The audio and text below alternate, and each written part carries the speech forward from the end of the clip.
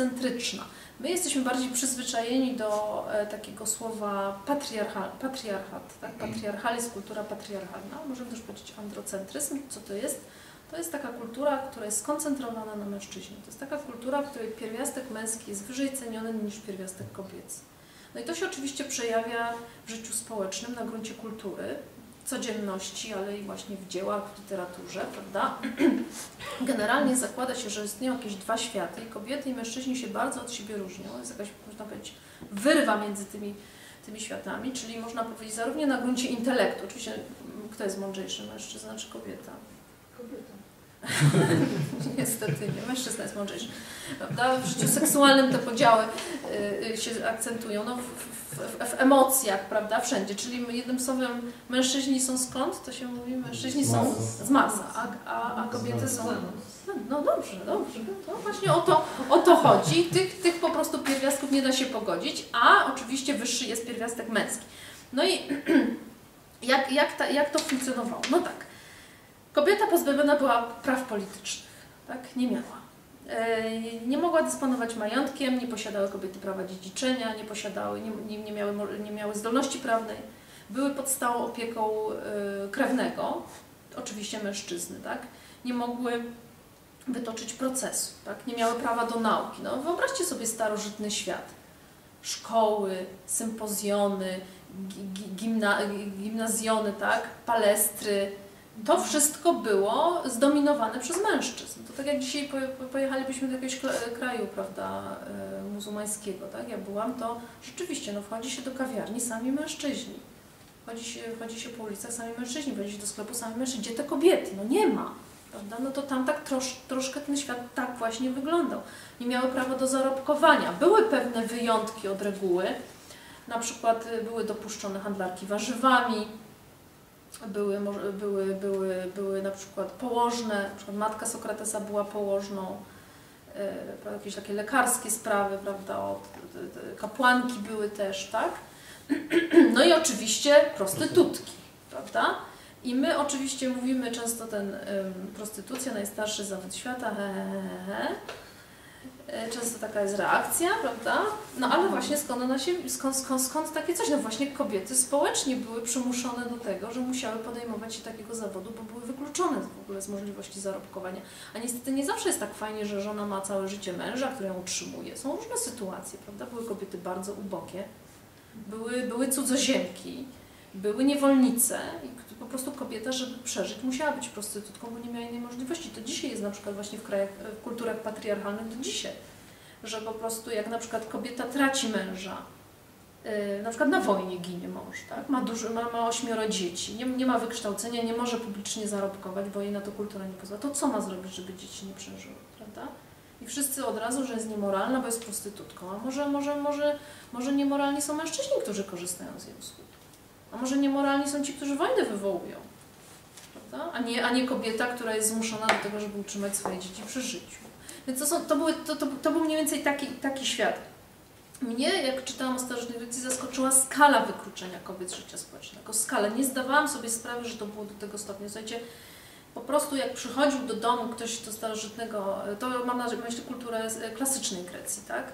Przychodził do rodziny w odwiedziny ktoś, to nie mógł widzieć kobiety. One miały swoje pomieszczenia, nie mogły być dopuszczone do, do kontaktu w ogóle z obcymi ludźmi, nie mogły wychodzić, bo to załatwiali zazwyczaj niewolnicy. Mogły, znaczy wychodziły, nie, nie twierdzę, że w ogóle nie wychodziły, bo mogły iść na przykład na pogrzeb, albo mogły iść na, na uroczystości religijne, albo do teatru, ale jak już były gdzieś wypuszczone, no to po prostu miały milczeć jeśli by znalazły się w sytuacji towarzyskiej, to musiały milczeć. Nie mogły się w ogóle odzywać, bo kobieta mówiąca to jest prostytutka. Bo kobieta, która mówi, prowokuje. Kobieta ma milczeć, czyli całe ich życie to było w pewnym sensie sprowadzone do funkcji domowych, czy zajmowanie się domem dziećmi, milczenie. To jest bardzo ważne, to milczenie. E, też, też e, jeden scenariusz oczywiście życiowy, małżeństwo, które notabene nie było sakralizowane, to był po prostu taki układ, kontrakt prawny pomiędzy teściem a zięciem. E, co istotne, wesele mm, panna młoda świętowała po, po, po, po, znaczy świętowała to po utracie dziewictwa, to wtedy była radość, bo wtedy stawała się kobietą, ale za cenę e, całkowitego uprzedmiotowienia i ubezwłasnowolnienia e, przez, e, przez, przez męża. Czyli do czego to wszystko prowadzi? Do tego, że kobieta nie mogła być partnerką intelektualną kogo? Mężczyzny. Tak, ona nie była partnerką intelektualną, ona nie była partnerką duchową. Czyli innymi słowy, z kobietą nie można było nawiązać głębszej relacji, głębszego porozumienia, bo ona się nie mogła odzywać. Generalnie była niewykształcona, więc ona żyła w innym świecie. Tak? Te światy były radykalnie od siebie po prostu e, oddzielone. Co więcej, mężczyźni greccy byli rozliczeni za to, że mają żony i mają dzieci, bo to był ich obowiązek względem państwa. A zatem, jaka, jaka jest podstawowa funkcja kobiety? Kim ona jest? Co ona ma robić? Dzieci. Ona ma rodzić. To jest inkubator, który rodzi dzieci. Czyli proszę, zauważcie, kontakt z kobietą nie, nie polegał na tym, żeby powstrzymać się od, od popędu seksualnego. Wręcz przeciwnie. Kontakt z kobietą jest właśnie czysto i wyłącznie mechaniczną funkcją płodzenia dzieci.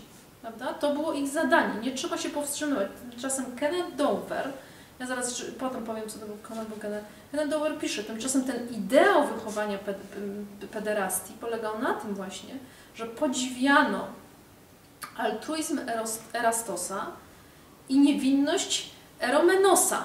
Czyli oni powstrzymują się w pewnym sensie od aktu seksualnego na rzecz głębszego kontaktu duchowego. Tymczasem z kobietą to było bez sensu ten ideał, bo właśnie nie należy się powstrzymywać przy niej z, z realizacji czysto popędowej, bo przecież po to jest kobieta, żeby ją zapłodnić, żeby mieć dzieci. Czyli nie, jest absolutnie wyłączona z jakby ze sfery duchowej, z jakiegoś, z jakiegoś właśnie głębszego przeżycia emocjonalnego. Ona jest do tego niezdolna, prawda? Zresztą e, wracając do naszego rynku w Krakowie, e, tam jest taki fajny pomnik, się strasznie podoba pomnik, e, Adama Mickiewicza, kojarzymy, prawda? I tam na tym, na tym, na tym pomniku jest napisane, napisane Adamowi Mickiewiczowi naród. Ja chciałam się Was zapytać, za, za co ten naród temu Adamowi Mickiewiczowi ufundował ten? Czy może za dzieci, że spłodził dzieci, a spłodził ich, słuchajcie, dużo. Sześcioro. Sześcioro dzieci plus, y, nie wiem, jestem pewna, ale chyba jedną nieślubną córkę jeszcze miał. Czy za dzieci? Nie, no nie za. Nie za A czemu nie za dzieci? Czemu za dzieci się nie stawia pomników? No, tak nisko cenimy dzieci. Wszyscy zamarli po prostu. Właśnie. Za... To nie jest, no, to nie jest żadna filozofia mieć dzieci. Tymczasem chodzi o dzieła jakie? Duchowe, o kontakt duchowy. Za to się stawia pomniki. I teraz ja czytam tutaj, pisze Platon w uczcie. Lepiej układać nieśmiertelne poezje i trwałe prawa, niż tylko płodzić dzieci z kobietami, bo to jest jakie? Prymitywne, ale lepsze słowo prymitywne, no to jest lepsze słowo, prawda? Czyli szukamy nieśmiertelności, bo płodzenie z kobietami też, to rzeczywiście płodzimy dzieci, bo chcemy być nieśmiertelni, ale też nieśmiertelność zyskujemy przez dzieła duchowe. Adam Mickiewicz zyskuje nieśmiertelność w pewnym sensie, prawda? Jest podziwiany i, i w naszej kulturze jest istotny, bo stworzył coś, co wykroczyło poza jego tu i teraz, prawda? I to nie były te dzieci, zresztą zostawił. Żona zmarła, to po prostu wszystkie, całą szóstkę zostawił, olał, prawda? Tam dzieci, prawda? Zresztą potem i tak szybko umiera, więc nie ma takiego problemu. Ale yy, zmierzam do tego, że ten ideał wychowania, proszę zauważyć, on prowadził do jakiejś, miał prowadzić do jakiejś głębi duchowej, kulminował u Platona w jakimś spełnieniu filozoficznym. W tej miłości ona przybierała charakter homoerotyczny właśnie z tego powodu, że to była głęboka miłość. Tak, że to było to prawdziwe, prawdziwe spełnienie, którego szukają, szukają ludzie, a nie tylko czysto i wyłącznie użyteczny seks prawda, do, do płodzenia, za którego nikt, nikt pomnika nie będzie miał. Prawda? Że nie warto się tym w ogóle zajmować no, w jakimś sensie. Prawda? Czyli ta Akademia Platońska to taki klub gejowski, można powiedzieć, w którym właśnie e, ci, ci, ci, ci, ci ludzie prawda, kształcą młodego człowieka ku jakimś zniosłemu ideałowi, prawda, który, do, do którego mm, prowadzi filozofia, a ja jeszcze powiem, na czym polega ten, ten ideał. Prawda? Co ciekawe, konserwatyści jakoś mi się wydaje specjalnie nie, nie zauważają, że wzrost zachowa, y, zachowań homoseksualnych wiąże się z wykluczeniem kobiet. Bo jakoś nigdy nie przypominam sobie, że tak wyraziście konserwatyści postulowali, żeby kobiety były wykształcone, no bo to o to chodzi. Bo jeśli kobieta jest wykształcona, no to jest partnerką intelektualną. I jakoś konserwatyści nie. E, homoseksualnym się bardzo nie podoba, ale wcale nie są feministami, zauważyliście? E, I faktycznie postulat wykształcenia kobiet płynie już z, czysto z feministycznych pozycji. Na przykład w naszej kulturze to taka, taka słynna książka Wołanie o prawa kobiet, Mary Wollstonecraft, XVIII wiek. I przecież główne przesłanie tej książki to było, polegało na tym, kobieta ma być wykształcona. Prawda? I ona oczywiście już a priori przeczuwała, jakie będą zarzuty, bo co nie powiecie, jakiegokolwiek, co chcecie coś zmienić w życiu społecznym, to pamiętajcie, że zawsze uderzy to w rodzinę. Nie wolno tego zrobić, bo to uderzy w rodzinę. Prawda? Jak damy wykształcenie kobietom, to rodzina po prostu zginie. Prawda? Więc to, więc ona od razu mówi nie, że bo właśnie jak będzie kobieta wykształcona, to będzie miała głębszą relację z mężem. On wraca z pracy, chce jej opowiedzieć o świecie, o polityce, o tym, co przeczytała, to po prostu ni be, ni me. Prawda? Że w ogóle nie wie, nie wie o co chodzi. A tak, oni ze sobą porozmawiają, to będzie lepsze i trwalsze małżeństwo. Tak samo dzieci. Kobieta jak wychowa niewykształcona kobieta dzieci? A jak wychowa wykształcona? Książkę przeczyta, opowie o świecie. Jak się coś stanie temu dziecku, to, to przynajmniej zaradzi jakoś, prawda? Bo przynajmniej wie, co ma zrobić, prawda? Więc Mary Wollstonecraft właśnie jest przerażona właśnie z tym ogołoceniem kobiety, z, tego, z tych głębszych doznań, co zresztą sprawia, że kobieta jest istotą rzeczywiście prymitywną. Prawda? Ograniczoną właśnie do świata kuchni i, i, i jakiejś, jakiej, jakiegoś narcystycznych właściwie wąskich bardzo doświadczeń, ale to nie jest jej wina. Tak? To społeczeństwa, które ją w pewnym sensie wyrzuca całkowicie na margines. Tak? No i jeszcze mi się y, y, y, kojarzy, specjalnie o tym chcę powiedzieć, to jest, to jest też dosyć taka ciężka myśl. Ja nie jestem też antropologiem kulturowym, ale wiem, że na przykład u Pasztunów, to jest Afganistan, to jest takie plemię, czy też można, grupa etniczna może lepiej w Afganistanie, słuchajcie, tam są bardzo rozpowszechnione zachowania homoseksualne taki homoseksualizm uwarunkowany kulturowo właśnie ze względu na absolutne wykluczenie kobiet z życia społecznego. Tam mężczyzna nie może porozmawiać z kobietą, nie może nawiązać z nią naturalnej relacji, cześć, cześć, popatrzeć na nią, przecież tam mąż w ogóle nie widzi żony do, do dnia nocy, nocy poślubnej, prawda? Nocy poślubnej, tak? Więc, więc, y, a jeszcze się do tego dokładają właśnie te, te takie wyobrażenia, że kobieta jest nieczysta, prawda? I, I mężczyźni y, właśnie tam biorą właśnie młodych mężczyzn, czy nawet chłopców y, właśnie na, na, na jakieś swoje imprezy, przybierają ich, malują. I jest, y, można powiedzieć, rozpowszechniony homoseksualizm um, kulturowy, bo to jest zbyt szeroko praktykowane, żeby to można było uznać za skłonność biologiczną, bo zdaje się, tu też chyba zdaje się naukowcy nie są, nie są, nie są zgodni, ale zdaje się 1% w społeczeństwie e, mhm. homoseksualistów, tak? czyli jedna osoba na sto. Nawet pięć, no, no to już, no nie wiem, no, ale tak to właśnie e, u tych pasztunów, e, u tych pasztunów jest. Zresztą, co ciekawe, mm, znaczy nie, nie, gdzieś spotkałam się z porównaniem, że to jest coś podobnego jak w starożytnej Grecji, bo już ktoś takie zestawienie zrobił, ale ja bym się, uważałam bardzo z tym E, z tym zestawieniem, ponieważ starożytnej Grecji, tak jak starałam się powiedzieć, jednak chodziło o pewien ideał taki, bym powiedziała, duchowy. I że właśnie chodziło o związek głębszy, no, może nawet nazwijmy szumnie miłość, tak? jakąś taką głębszą miłość. Natomiast jak się pasztunom zarzuca, to jest słuchajcie, świat islamski, który zabrania relacji homoseksualnych, jak się zarzuca pasztunom, że oni praktykują homoseksualizm, to mówią, nie, nie, my nie praktykujemy broń Boże homoseksualizmu, bo my tylko fizycznie z nimi się zaspokajamy, a nie kochamy tych chłopców. Tak? Czyli właśnie chodzi tylko i wyłącznie o czyste zaspokojenie fizyczne, a nie o zbudowanie głębszej relacji emocjonalnej, bo głębsza relacja homoseksualna między mężczyznami to jest homoseksualizm, to jest złe. Zresztą notabene podobnie jest, słuchajcie, w kościele katolickim. Przerażenie widzę na twarzach. Larum. Zaraz, ale już tłumaczę, już tłumaczę. E, mam, słuchajcie, znajomego, który rozwiódł się, nie, znaczy nie rozwiódł się, nie, jak to powiedzieć, żona zostawiła go i nie może powtórnie zawrzeć związku małżeńskiego w kościele katolickim, a od e, dziesięcioleci utrzymuje różne relacje seksualne z różnymi kobietami.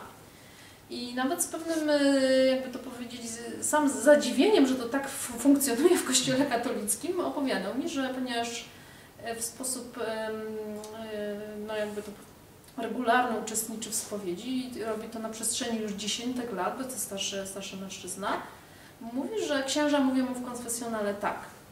Jeśli Twoja relacja z kobietą jest przypadkowa, chwilowa, y, to to nie jest zbyt dobrze, ale to jest grzech lekki, za który oczywiście natychmiast y, do, do, otrzymasz rozgrzeszenie.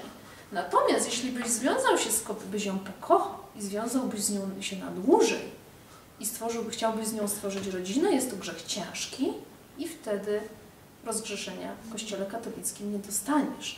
Nie widzicie, że to samo, tylko tam chodzi o, o, o chłopców, a tutaj o relacje hetero. Tak? Więc widzicie, co religia robi z ludźmi. Można powiedzieć, deprawuje ich moralnie. Tak?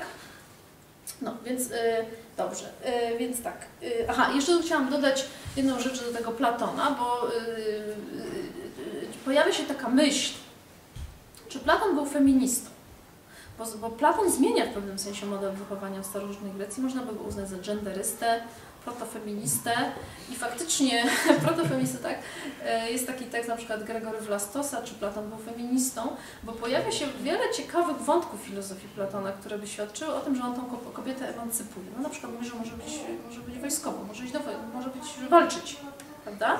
To, to zupełnie szukam, może ćwiczyć. No, y, y, ta, ta rola kobieta, on można powiedzieć, odchodzi od ról społecznych takich skorelowanych z płcią pisze, że jak się ktoś do, do, czegoś nadaje, to może pełnić w państwie funkcję, do jakiej się nadaje, nawet kobieta. Tak? Czyli nie ma takiego, można powiedzieć, stricte patriarchalnego yy, yy, właśnie związania kobiety tylko z jedną funkcją, tak? Więc jest coś takiego u Platona, tak? Z drugiej strony jednak na przykład w, tych, w tym nieszczęsnym dialogu prawa yy, pojawia się jednak małżeństwo patriarchalne, i, i tam kobieta specjalnie nie ma możliwości emancypowania się, a właśnie w, w państwie nie ma, słuchajcie, rodziny. A zazwyczaj właśnie w, w, koncepcjach patriarchalnych rodzina sprawiała, że kobieta była na drugiej funkcji, na tej, na tej, na tej podrzędnej, prawda? A w państwie nie ma rodziny, co już powoduje pewną emancypację kobiety. No ale tam znawcy Platona twierdzą, że ja też tak chyba się do nich przynam, że nie należy przesadzać z tym feminizmem, bo chociaż pewne wątki się faktycznie pojawiają, to jednak ostatecznie to są takie wybitniejsze kobiety, się tam gdzieś pojawiają, że mogą gdzieś zaistnieć, ale generalnie to jest to, co zawsze. Czyli kobieta rodzi dzieci, zajmuje się dziećmi, wszystkie najgorsze prace spych, spychane są na kobietę. To kobieta ma do, dorównać mężczyźnie, a nie na odwrót, prawda? Nawet spycha Platon na kobiety takie, takie, takie rzeczy jak zabijanie dzieci, bo tam w, w państwie Platona się zabija dzieci nie, nie, nie, nie, nie, nie, niezdolne do życia, czy upośledzone, prawda? Więc one się zajmują wszystkimi takimi właśnie rzeczami, są mamkami, y, związanymi właśnie z takimi typo, tym, typowym, tradycyjnym właśnie podziałem na, na dwie role. Więc myślę, że wydaje, że, że nie należy z tym specjalnie e, przesadzić. No więc dobrze. I teraz już podsumowuję. Homoseksualizm czy biseksualizm był e, usankcjonowanym społecznie systemem relacji mentor-protegowany. Tak, to było usankcjonowane społecznie, akceptowane społecznie. I wydaje się, że w każdym hierarchicznym systemie y, społecznym taka, taki system mentor protegowany po prostu istnieje, tak? Że jakiś starszy ktoś wprowadza kogoś młodszego, jedynie problemem jest to, czy, mm, czy, czy, czy ta relacja przybiera charakter y, erotyczny, bo tam akurat przybierała, a my raczej byśmy dzisiaj, myślę, należy powiedzieć, że nie powinna, broń Boże, przybierać takiego charakteru i wydaje mi się to w tym sensie możemy, znaczy no jeśli oczywiście można by przyjąć takie bardziej, że opisuje jak było, tak, no ale mnie się narzuca, że powinniśmy raczej można potępić to, choć co z tego wynika naszego potępienia, no takie, taka była kultura, tak, tak, tak, e, tak to funkcjonowało. Mm, no i właśnie w sferach wyższych zwłaszcza należało być tym bi, bo oczywiście powinien mieć żonę i dzieci, to nie ulega wątpliwości, ponieważ jest to wyższy rodzaj miłości. Co to znaczy wyższy rodzaj miłości? Bezinteresowny. Tak, to właśnie przez to, przez to się rozumiał bez, miłość bezinteresowną. I też y, ja powiedziałam, że o tej politycznej stronie wychowania, ale teraz chciałam też powiedzieć, że to też było tak troszkę, że to tak trochę prywatne też było, bo to znaczy w, pr w prywatnym życiu można było robić co się chce, natomiast problem był jak się przesadziło. I na przykład y, Alkibiades jest tego przykładem, tak? Może kojarzycie takiego znanego wodza, y, stratega atejskiego. Jego wujem był Perykles, jest to jeden z bohaterów uczty Platona, Alkibiades, y, który właśnie można powiedzieć, ponieważ przesadził obyczajowo, między innymi obyczajowo przesadził, to właśnie spotkał się jednak z, z negatywną Czyli póki coś jest można powiedzieć, skryte w alkowie, to nie ma właściwie problemu. Gdyby arcybiskup Wesołowski nie przesadził gdyby nikt się nie, nie dowiedział, co się dzieje, to byłoby wszystko w porządku. Najgorzej, jak coś wydobywa się na światło dzienne, to wtedy jest właściwie problem. Więc wydaje mi się, że nie należy też przesadzać, że ten homoseksualizm był jakiś taki rozpowszechniony, że wszyscy go praktykowali. To jest nieprawda, bo nie wszyscy mieli skłonności homoseksualne, prawda? E, I, I, często to były jakieś relacje takie oparte na niedopowiedzeniu, na jakiejś po prostu sympatii. To, co ja powiedziałam, że, że tam e, Akademia Platońska, klub gejowski, to oczywiście taka pewna retoryczna przesada. W rzeczywistości to było tak jak w życiu. Tak? Jedni to wykorzystywali, a inni tego nie wykorzystywali i, i, i tyle można, można chyba na ten temat powiedzieć. Mm, natomiast y, cóż, jeśli już do tej relacji homoseksualnej doszło, to ona była oparta o pewne reguły. To nie była wolna Amerykanka. Nie można sobie było robić, co się tam chce. Prawda? Głównie reguły były chyba dwie. Nazwijmy go taki grecki, no nie wiem, patrycjusz, chociaż z Rzymianami, ale taki grecki patrycjusz no, miał spenetrować tego młodszego y, chłopca, powiedzmy, natomiast sam nie mógł być spenetrowany. Czyli innymi słowy, osoba w, seksie homoseksualnym, która jest bierna, jest niżej wartościowana. Tak? To było gorzej. On nie, on nie mógł być bierną osobą. Dlaczego tak się dzieje? No, bo właśnie y, ta bierna osoba, ona przybiera y, rolę kobiecą.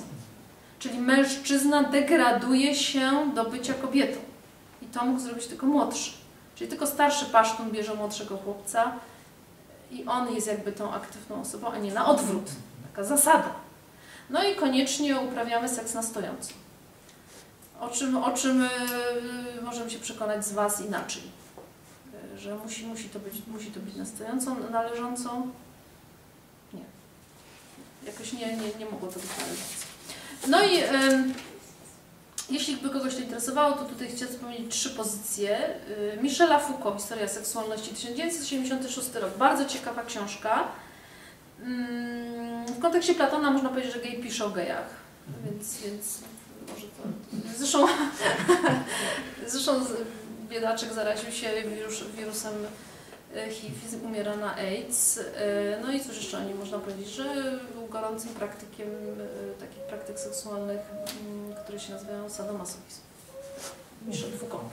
Natomiast inna książka, którą się nazywa, to jest właśnie Kenneth Dover. W 1978 książka się ukazała, Homoseksualizm grecki. To jest książka też czasami krytykowana, że właśnie Kenneth Dover przenosi te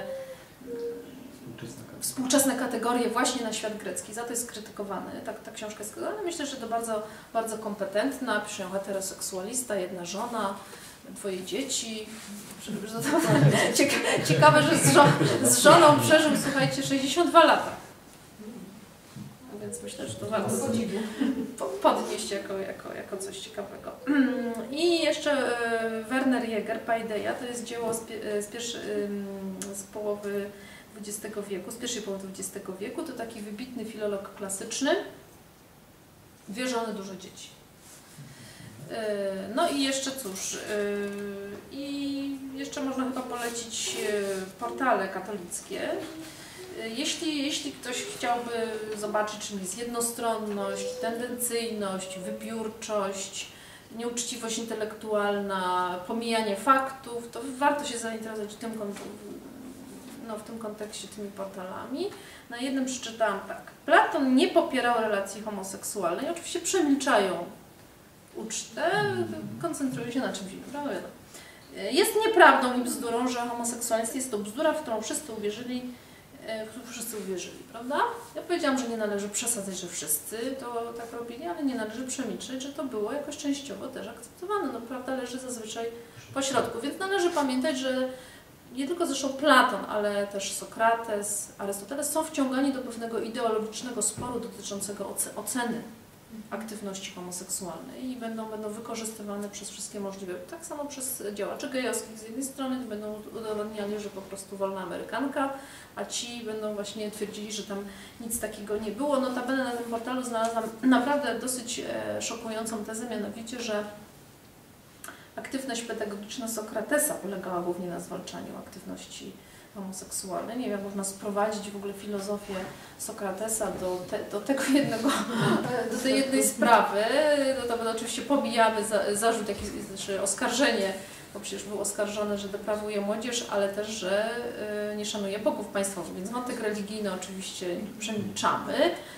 Mm, I faktycznie jest u Sokratesa, jak czytamy Ksenofonta wspomnienia o Sokratesie, on tam krytykuje Krytiasza, czyli takiego tyrana ateńskiego za to, że pała rządzą do Eutydema i to jest relacja homoseksualna i faktycznie Sokrates tam bardzo ostro występuje przeciwko tej relacji i, i pisze, że właśnie Krytiasz odczuwa świńską potrzebę, ale jak dokładnie przeczytamy ten fragment, to okazuje się, że Sokrates wcale nie krytykuje relacji homoseksualnej, tylko krytykuje jej formę. To znaczy, że ta relacja, konkretna relacja, że Krytiaszowi chodzi tylko o ciało, ciało Eutydema, że pała rządzą, że traktuje swojego partnera w sposób instrumentalny, że tam właśnie nie ma głębszej, głębszej relacji emocjonalnej, tak? czyli że jest natarczywość, że jest ślepota. Czyli to samo krytykowalibyśmy w relacji heteroseksualnej, że jeśli ktoś traktowałby instrumentalnie partnerkę na przykład, prawda, odczuwałby pewien rodzaj niepohamowania i nic by go nie interesowało, to też byśmy to krytykowali. I to krytykuje Sokrates, ale to oczywiście yy, prze, przemilczamy, prawda, i, i, i, i o tym nie mówimy. Ja, dla mnie ważne jest takie hasło, po owocach ich poznacie, więc ja się trzymam tego hasła bardzo ostro i, i stąd, stąd moje polecenie portali katolickich. A mm, chciałam jeszcze powiedzieć o Erosie, ale to może w drugiej części. Dobra, w drugiej części. Dobra.